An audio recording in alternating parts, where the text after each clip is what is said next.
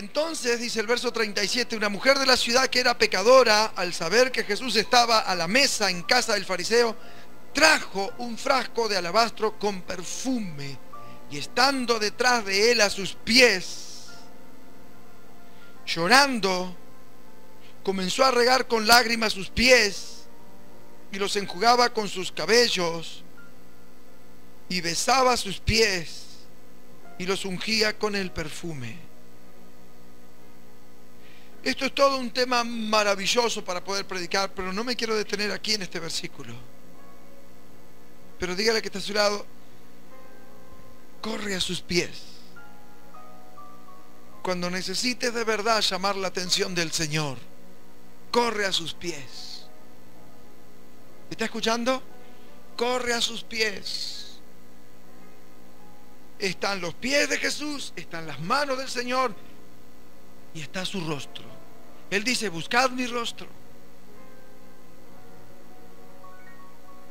Pero a los pies de Jesús, usted camina por el Evangelio y a los pies de Jesús hay muchas, muchas personas que cambiaron sus vidas a los pies de Jesús.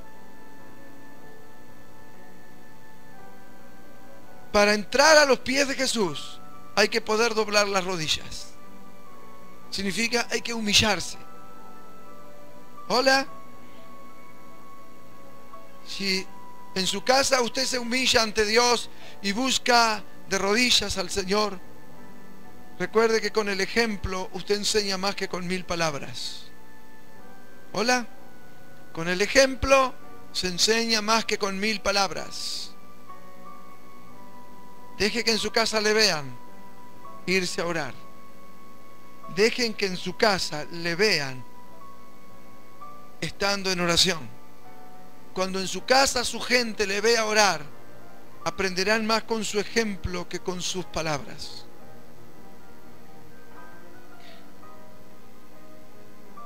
¿De dónde saco esto? El verso 39, cuando vio esto, el fariseo, ¿qué es lo que vio? La mujer a los pies de Jesús. La mujer llorando a los pies de Jesús. Dos, la mujer enjugando con sus cabellos, secando con sus cabellos los pies de Jesús. Tres, la mujer perfumando los pies de Jesús. Cuatro, en una sola acción, la mujer lanzó cuatro mensajes al fariseo. Yo, siendo lo que soy, puedo encontrar un lugar a los pies de Jesús. Y tú, siendo lo que eres y estando Él en tu casa, no pudiste encontrar ese lugar. Luego Jesús se lo recuerda. ¿Viste esta mujer? Entré a tu casa y no me diste un beso. ¿Y ella qué ha hecho? ¿Sí o no? ¿Sí o no? Decirle que está a tu lado, ¿cuánto te arrodillas? Fue el mandamiento del Señor. Cuando estés en tu casa, entra en tu aposento y cierra las puertas detrás de ti. Y cerrada la puerta, dice la que atrás. Y si no tenés puerta, la cortina igual. Corre la cortina. No importa que sea de tela o de nylon, pero córrala. ¿Sí o no? Y diga, este es mi lugar secreto ahora. A partir de este momento es mi lugar secreto. Cuando la cortina está corrida o la puerta está abierta, entra el perro, entra el gato, entra el nene, entra la nena, entra papi, entra mami. Ahora no. Pero cuando le bichen dicen, ¿dónde está? está orando. Ay, está orando. ¿No? Está orando. Nadie le llama ni para hacer los mandados. Pero usted tiene que saber ¿eh? si hace que está orando para librarse de los mandados. Porque los grises son muy pícaros, dice. Está orando, dice, vos te pasas toda la mañana orando, dice, bueno, ahora andate a carpir el fondo. Ah, no querés este, bueno, vamos. No querés ser los mandados. Cuando vio esto el fariseo que le había convidado, dijo adentro de sí,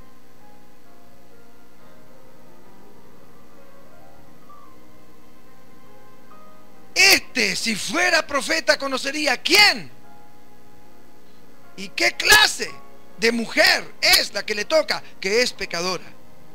Entonces respondió Jesús le dijo, Simón, tengo que decirte una cosa. Lo que Simón no, no se daba cuenta, oigan bien, lo que Simón no se daba cuenta era que los pensamientos nuestros delante del Señor es como, como que salen por los parlantes. Jesús los escucha a nuestros pensamientos. Por eso que no nos podemos esconder de Él. Lo que tú piensas, Jesús lo escucha por alto parlante en el cielo. Él sabe nuestros pensamientos, pero clarito los conoce. Qué tremendo. Simón hablando adentro de él y Jesús, mira vos, con punto y coma, Jesús estaba leyendo el pensamiento de él, escuchando lo que él pensaba. Qué triste que mucha gente no se da cuenta que Jesús es Dios.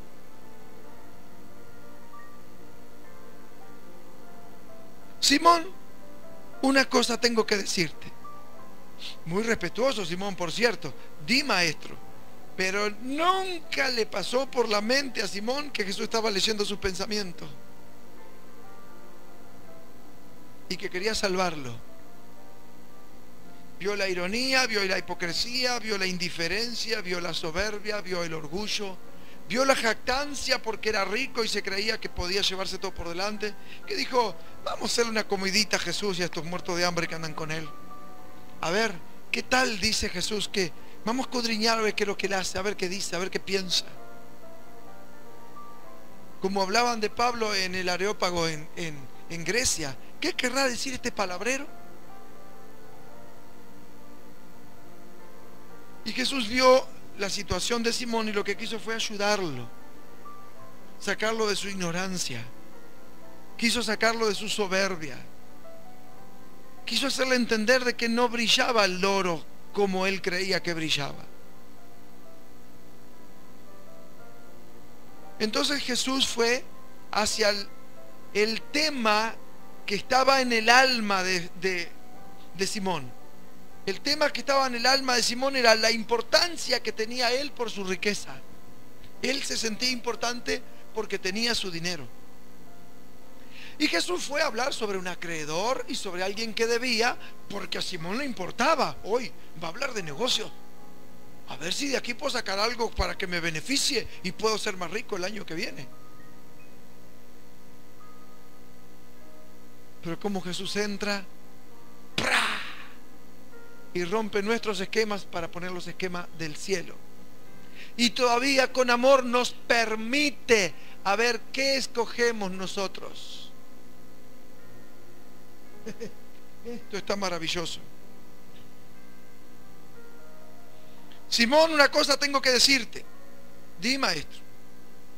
Un acreedor tenía dos deudores. Uno le debía 500 denarios y el otro 50 denarios. Y ya Simón se estaba afilando diciendo, bueno, yo tengo muchos acreedores, Señor. Ahora voy a saber qué tengo que hacer con ellos. No voy a perder mi negocio. El rabí está en casa, él me va a enseñar. Uno le debía 500 denarios y el otro 50. Y no teniendo ellos dos con qué pagar, perdonó a ambos. Di, pues, ¿cuál de ellos le amará más? Ahí se le empezó a derrumbar la estantería a Simón. Porque el Señor conoce que las personas que aman el dinero no pueden amar a su prójimo. Porque en el amor al prójimo es donde se manifiesta el amor de Dios. Y decir aquí está a tu lado, esa fue para nosotros también.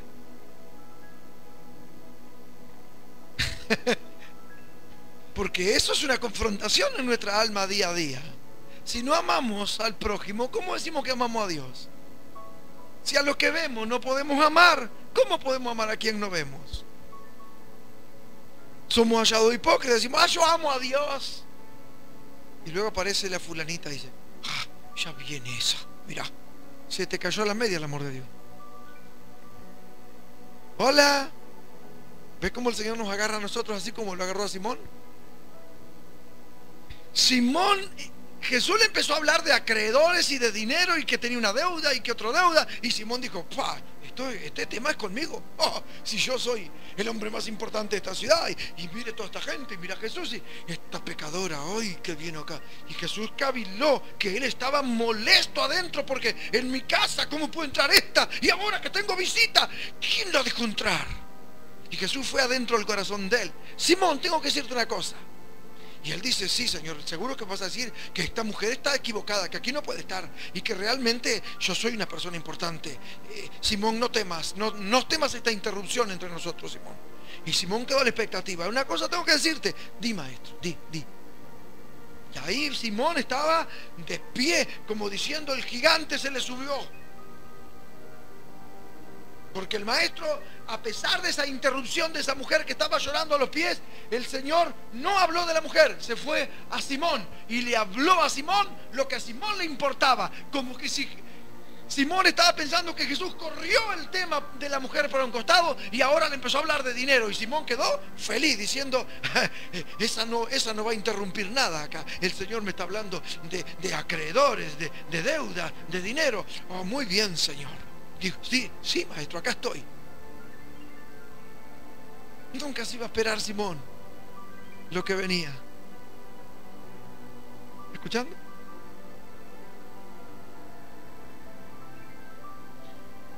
Dos hombres tenían una deuda con este hombre, con el acreedor. Uno 500 y el otro 50. Y no teniendo ellos con qué pagar, perdonó a ambos. Lo que nunca pensó Simón que Jesús iba a poner esa palabra el amor en las deudas. No, las deudas no se resuelven con amor, se resuelven pagando las deudas. me las paga. Decía que está a tu lado, así soy yo. Me la hace, me la paga. Dígale que está a su lado. No, perdón, así era. ¿Le gusta más? Así era.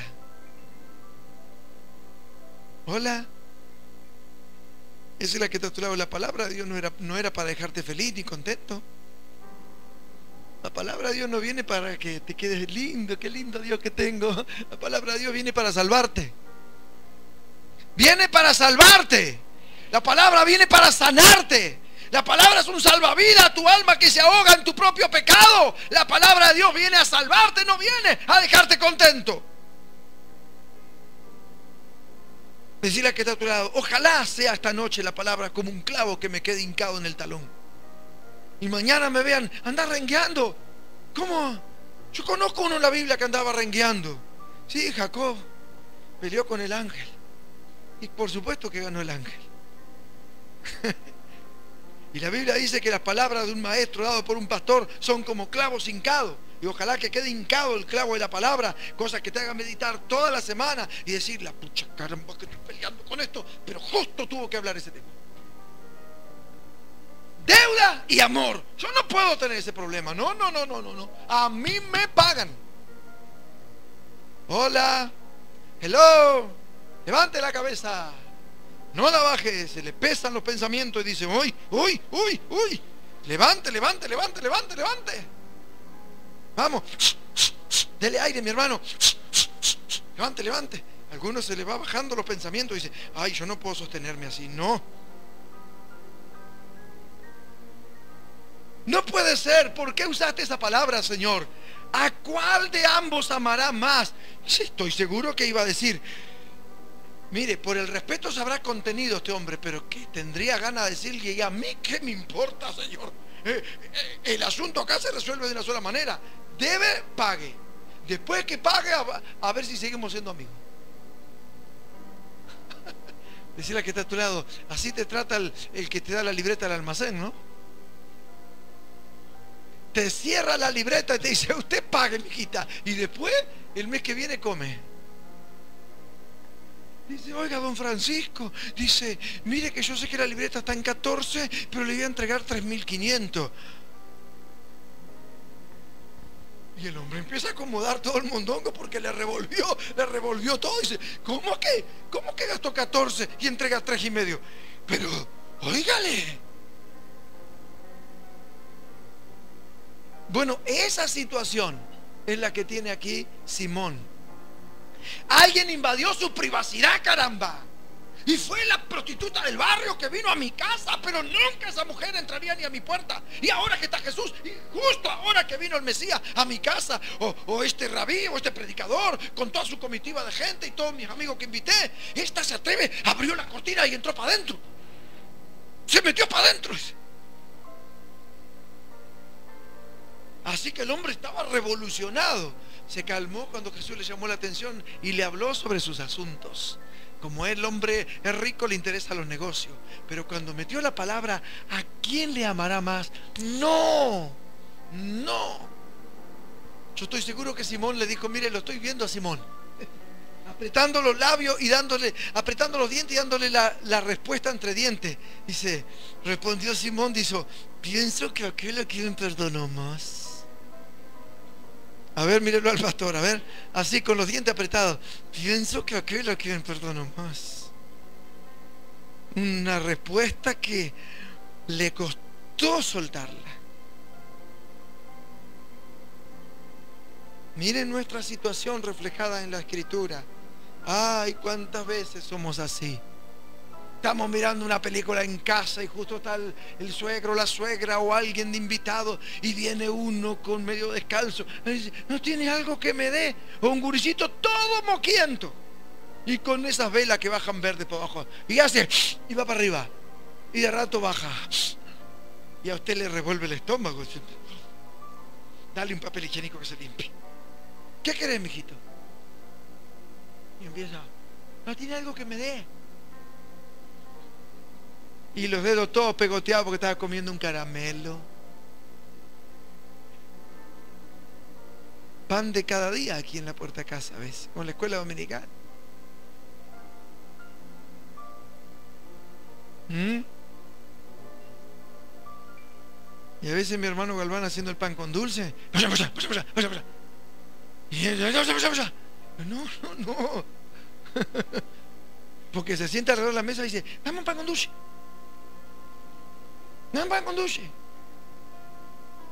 Y me pan con dulce, con la mano, toda sucia, y empecé a tocar los vasos. Y Marta le dice, no me toque los vasos y lávese la mano. Y va uno y viene otro, y va uno y viene otro. cuando empezará la clase? Maestra, empieza la clase, porque se turnan. Cuatro o cinco alrededor de la mesa, después cambian, vienen cuatro o cinco más, cuatro o cinco más. Usted dice, pero esas pequeñeces, pastor. Esas pequeñeces hablan de lo interior de nuestro corazón. Y debemos cuidar de tener ese amor para amar, soportar, tolerar. Porque, ¿usted no se acuerda cuando era niño? Yo me acuerdo cuando era niño. Yo me acuerdo que andaba cuando niño con seis años, siete años, me chiflaba la panza de hambre a las cinco de la tarde. Y me desaparecía. ¿Y a dónde iba? A una panadería. Y le decía, ¿no tenés una galleta que me dé? Y la muchacha dice, andate que está el dueño. Me daba rápido, sí, me dice, andate que está el dueño. Y yo me iba feliz. Pero aquella galleta, mire, me la devoraba, que pasaba por mis dientes, chaca, chaca, chaca, chaca, chaca, chaca, chaca y por mis glándulas eh, eh, gustativas, y aquello era una delicia que iba para abajo. Y es simplemente una galleta. Pero una galleta para un niño con hambre es un manjar. Y nosotros, que llegamos a grande, y se nos olvida Se nos olvida, señores, que una galleta o una caricia a un niño en la cabecita le puede cambiar la vida. Se nos olvida que fuimos niños y que a veces necesitamos a alguien que nos hable o que nos atienda. Quiera Dios que todos aquí lleguen a ser ricos y muy ricos. Decirle que está en fe.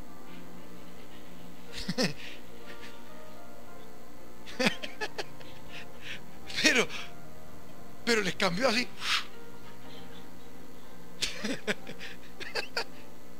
¿No quieren ser ricos?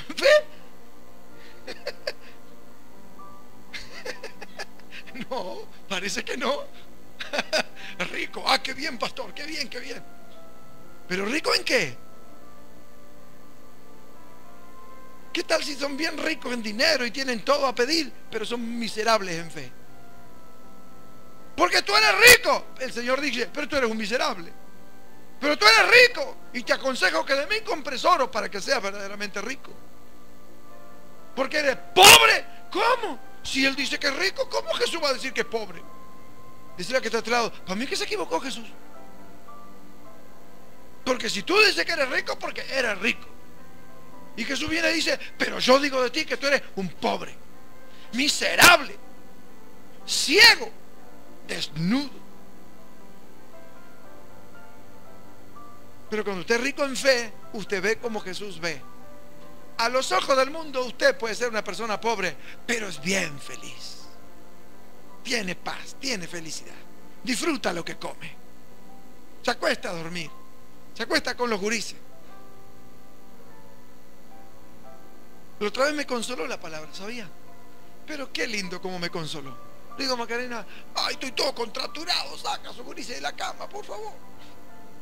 Y voy a la escritura y el Señor me dice, un hombre que se había acostado a dormir con los niños en su cama y vino su amigo a pedirle pan a la medianoche. Le dijo, ¡eh, no, porque estoy con los niños en mi cama! Yo le digo, ¡ah, Señor! Yo estoy viviendo como los tiempos bíblicos. los guris se metió conmigo en la cama. le digo, bendita contratura, déjala nomás, un poquito más. Déjala nomás que me acostumbre a vivir esa vida bíblica. ¿Se da cuenta? Y usted a veces se queja y va a la Biblia y encuentra la respuesta diciendo, Señor, ¿por qué te quejas? Si en mi palabra hay gente que ha vivido igual que tú y tú hoy estás viviendo como los que vivieron en mis tiempos bíblicos. Dirá que está a tu lado, si se sigue quejando, al que se queja le dan carqueja. Di maestro. Ahora va a escuchar lo que el Señor le dice. Y él dice, bueno, con esto el maestro le pone la frutillita a la torta. Me olvido por completo de esta ramera que está ahí llorando. Y la mujer estaba... Y con los pelos le secaba los pies a Jesús. Aunque el perfume era muy rico y agradable. El hombre ya se acomodó un poquito porque el perfume... Creo que habrá pensado, gracias a Dios que trajo un perfume rico. y no se olor a, prostitución, a, bar, a tabaco, a vino barato. Y cuando escuchó el perfume, sintió el perfume, se acomodó diciendo, sí, maestro, olvidémonos de ella un momento. un acreedor tenía dos deudores.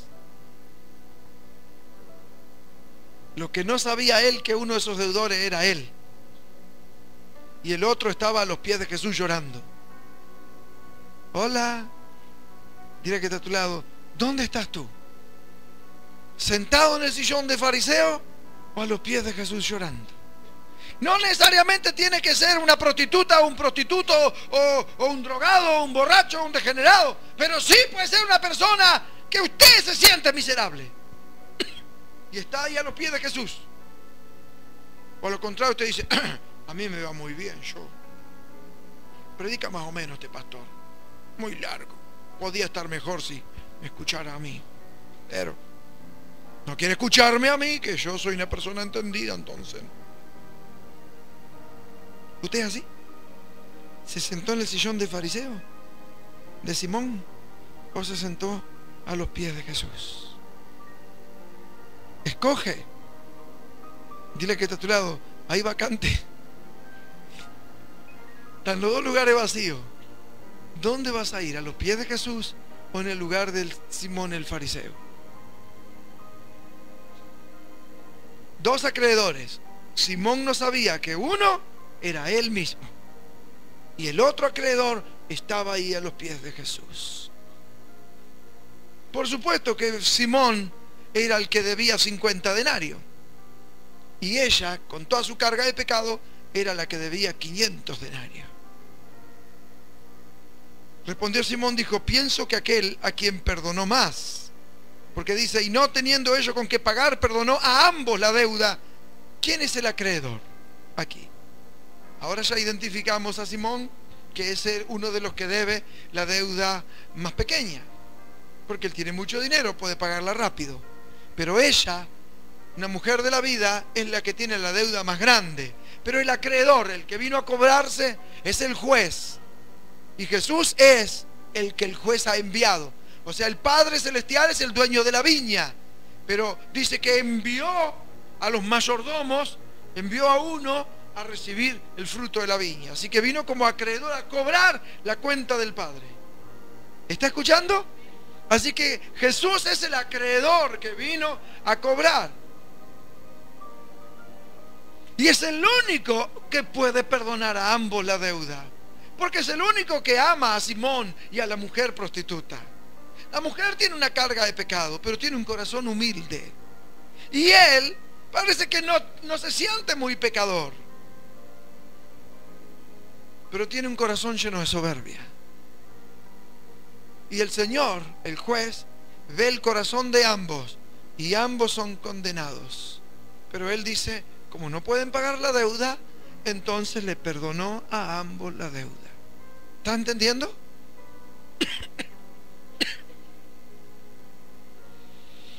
Di pues entonces cuál de ellos le amará más.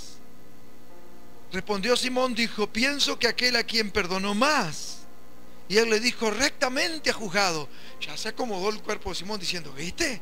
El Señor está conmigo. Hasta me dijo, muy bien, Simón. Pero bravo, Simoncito, muy bien. Hoy me vas a dar una gran ofrenda por esto. Así que Simón cuando vio que Jesús le dijo, rectamente ha juzgado, él delante, oiga, Jesús no le está hablando en secreto en el oído, ¿está escuchándome o no? Jesús le está preguntando frente a una multitud de como 90, 100 personas. 70 nomás eran sus discípulos. No eran 12, andaban 70 con él. Y más todavía, sin contar las mujeres. Más todos los que estaban en la casa del fariseo. Estaba todo el mundo ahí, no volaba ni una mosca. Ahí en ese momento había más gente de la que hay en este lugar ahora. Y todos estaban escuchando. Así que cuando Jesús le dijo, muy bien Simón, bárbaro, correcto Simón, él quedó agrandado como alpargata de... No lo diga. ya lo dijo. Este es como Jesús, no lee la mente. Pienso que aquel a quien perdonó más, rectamente ha juzgado. Y ahora se le acalambra la vida a Simón, porque Jesús se voltea a la mujer y Simón suspira para arriba diciendo, no, ay no, otra vez volvió con ella. Yo soy el más importante aquí en mi casa. Estás en mi casa, yo te invité. ¿Por qué esta ramera entró? ¿Por qué ahora Jesús la mira a ella? Decirle que está a tu lado, cuando tenemos cosas escondidas bajo la alfombra, y creemos que nadie la sabe. Y luego Jesús viene y nos habla exactamente de eso que nosotros teníamos escondido. Exactamente de ese problema.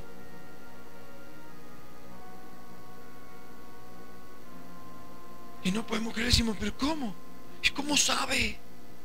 ¿Cómo sabe este eso?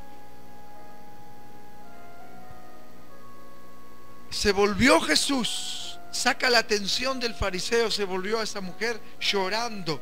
Mientras Jesús hablaba con el fariseo y el fariseo con Jesús, el oído de Jesús estaba viendo lo que la mujer hacía. Jesús estaba recibiendo el perfume, las caricias en sus pies, la mujer llorando, ni un detalle se le perdió al maestro. Y ahora llega al corazón del fariseo y le dice, le pone la mano en el corazón y le dice, ven y mira esto. Porque yo me voy, pero ustedes se quedan. Yo sigo. Yo vengo a hacer una tarea, voy a ser crucificado, voy a limpiar. Pero si ustedes no entienden estas cosas, no comprenderán aquella grande. Entiende que esto es la de todos los días con la que ustedes van a lidiar, que es el amor a su prójimo. Hola. ¿Ves esta mujer? Por eso le digo, metió la mano en el corazón de él y le dijo, ven y mírala. dile que está a tu lado, Jesús tiene más paciencia que el pastor. El pastor te agarra de los pelos y te dice, mira por acá. No se asuste, decirle que está a tu lado, está en la Biblia. agarrar de los pelos y arrancar la barba. Está en la Biblia. No hubo uno que se enojó y le agarró los pelos a otro. ¡No! Se haga una de piñas acá si el pastor hace eso, ¿verdad? Decirle, porque todavía no estamos bien. ¿Qué pasaría si alguien te agarra los pelos? Levantaría el dedo diciendo, la ley del talión, ojo por ojo, diente por diente.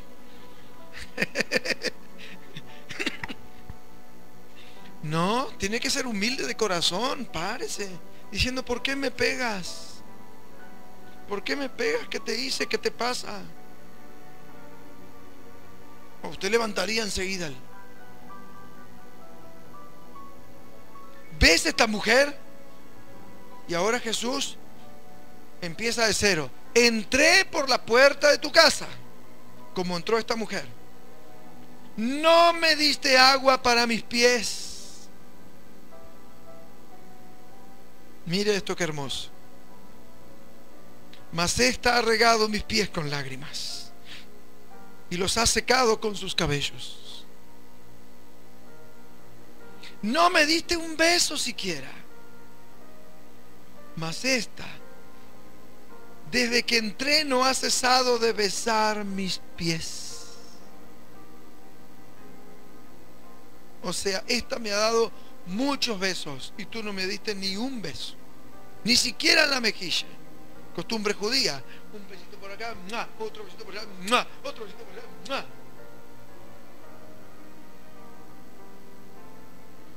No me diste beso, mas esta, desde que entré, no ha cesado de besar mis pies. No ungiste mi cabeza con aceite.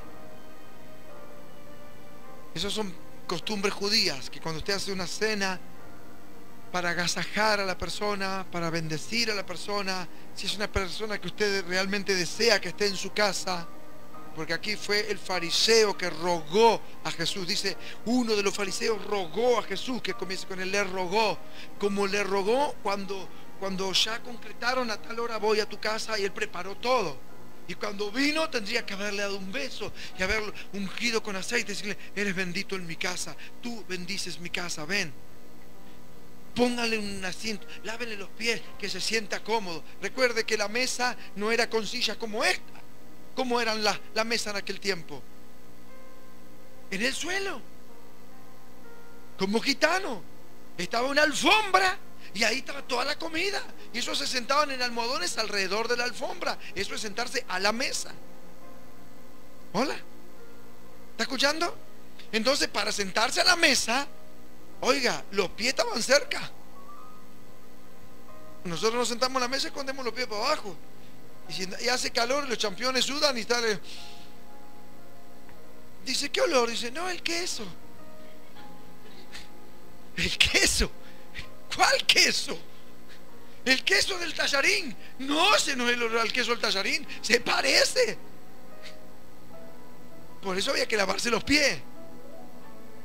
Usted, lo toma como en broma, como que, que, que, que, pero que es la verdad. Si usted se va a sentar a la mesa en el suelo, primero se saca los zapatos porque está ahí en la mesa en el suelo. Y segundo, si tiene que lavar los pies. Porque si no se lava los pies, oígale, ¿cómo va a estar comiendo ahí con las patungas sucias? Y Jesús le dice, no me diste viso, no me lavaste los pies, ni me diste agua para que yo me lave los pies. Y estaban ahí en la mesa, no estaban sentados en mesa con taburete y con silla. Óigale. ¿Puede imaginarse cómo era la situación ahí? Entré en tu casa y no me diste agua para mis pies, mas esta ha regado mis pies con lágrimas. No me diste beso, pero esta no ha cesado de besarme mis pies. No ungiste mi cabeza con aceite, pero esta ha ungido con perfume mis pies. Por lo cual te digo que sus muchos pecados le son perdonados porque amó mucho.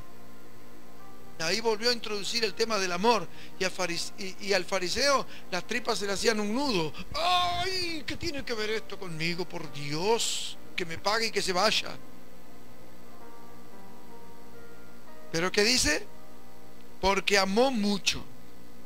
Mas aquel a quien se le perdona poco, ahí lo estaba mirando a él, poco ama.